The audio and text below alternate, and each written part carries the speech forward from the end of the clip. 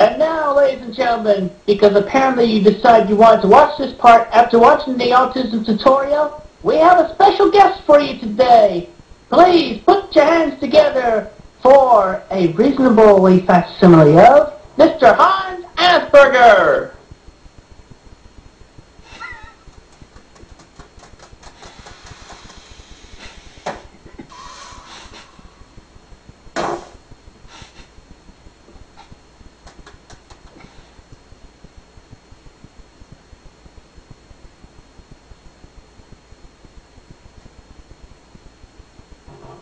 Your host, Christian Chandler, on this short talk show. And this is Mr. Hans Asperger. Now, let's talk about him for a bit. Now, apparently, Mr. Hans Asperger, from the Vienna University Hospital in 1938. Oh, how recent. You gave a lecture in Germany on autistic psychopaths after investigating a mild form of autism. Isn't that right, Hans? Yeah.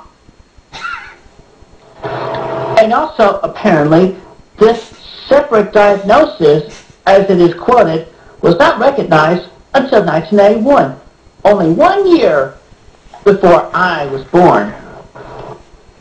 Although coined from your name, Mr. Asperger, apparently a Mr. Leo Kanner took the study much further and established the term early infantile autism. Do you applaud Mr. Kanner for his work? Yeah. I see.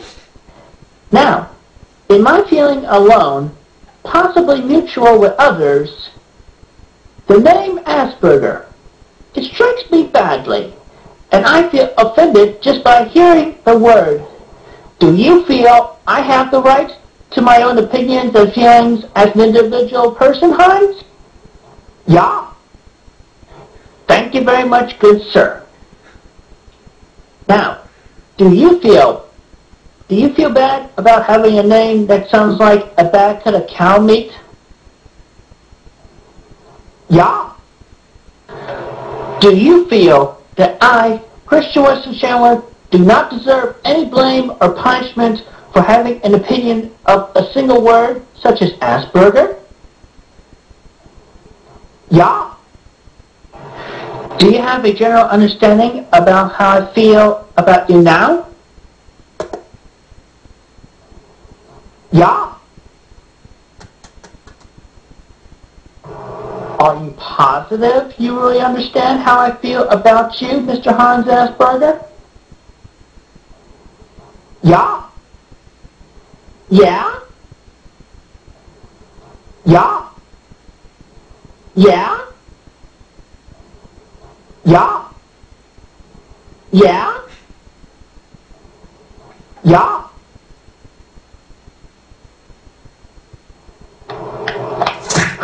Baka! I feel dislike towards you for selfishly putting your ill name in association with autism and with a name like Asperger, I feel it only makes us autistic kind sound even worse. Asperger's. You should have left it as it was. Autism is autism. And in your research, you linked it up with psychopaths. I feel even more offended at that. Now get out of my sight. Yeah?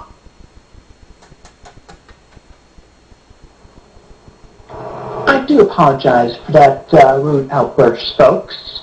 But then again, that was just the way I felt and have been feeling about the word Asperger since I first heard it a few years ago. It is my second least favorite word, where my first least favorite of all time is naive. Again, I apologize if I came off as bad to anybody, made them feel bad for the way I acted. But then again, I do get emotional and carried away sometimes. Thank you for watching, and have a good, safe, and blessed day.